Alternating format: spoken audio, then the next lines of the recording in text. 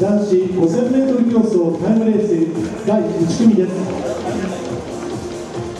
出場の選手八千浦健太君福島大学市川明宏君秋田大学。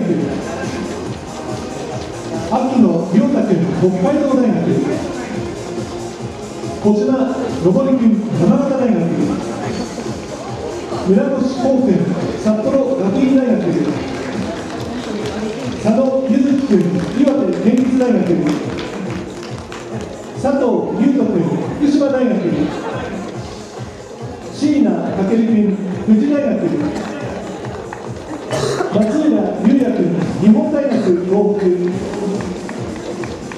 松立海君東北大学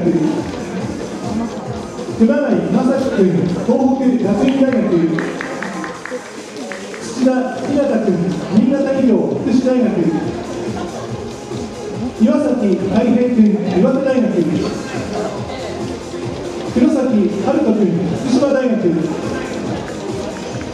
玉健太君東北大学米沢流星君青森大学。山田幸也君秋田大学。以上の17名です。この競技の大会記録は2004年。東北大学の立花君の記録14分33秒18となっております。